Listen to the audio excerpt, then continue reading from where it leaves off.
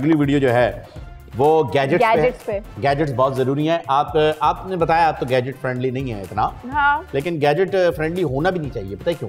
क्यों? आप गैजेट्स के मोहताज हो जाते हैं कुछ ऐसी होती हैं जैसे एयरपॉड्स हैं। हाँ। अब आपने उन्हें भी चार्ज करना है चार्जिंग पे लगाना है वॉचेस को भी चार्ज करना है। हर चार्ज चीज़ है। चार्ज हो रही है चार्जिंग पे लगी हुई है वो बड़ा अजाब है। मेरे पास से कॉफ़ी मांगे जिसको चार्ज करना पड़ता है। ओ वेरी वरना वो कॉफ़ी नहीं पिलाता। नहीं मतलब वो गर्म करता है फिर। अच्छा अच्छा अच्छा, अच्छा टेम्परेचर पे गर्म कर देता है। ओके वो कार होल्डर वाला है या घर के लिए? नहीं नहीं नहीं वो उसका नाम है एम्बर अगर आपने नाम सुना हो। एम्बर एम्बर बहुत महँगे कॉफ़ी हाँ। कप्स होते हैं। जी जी। तो आप चार्ज करते हैं और आप अपने साथ ट्रैवल करें। ट्रैवल मग्स है। तो आपने कॉफ़ी डाली और आप टेम्परेचर उसको गर्म करना चाहते हैं तो आपने खोला वो आपका नाम लिखाएगा आपने टक टक टक टक हाँ। बटन दबाया वो गर्म करेगी। वो गर्म कर देगा फिर टेम्परेचर बता देगा जी इतना गर्म हो गया अब आप पी लें।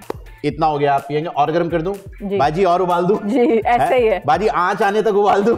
तो वो अब तक घर में रखा हुआ है क्योंकि मैंने चार्ज नहीं किया है चार्ज नहीं किया एग्जैक्टली exactly. मैं भी जिस दिन लेकर आता हूँ ना एयरपोर्ट या वो हेडफोन्स लेकर हाँ। आता हूँ बड़े मज़े बेगम को पता होता है बोला ये दो दिन यूज़ करेगा उसके बाद इसे चार्ज ही नहीं करना हाँ। और से बच्चे खेल रहे होते बोल एंटरटेनमेंट के शोज़ देखने के लिए हमारे चैनल को सब्सक्राइब करें और बेल आइकन पर क्लिक करना ना भूलें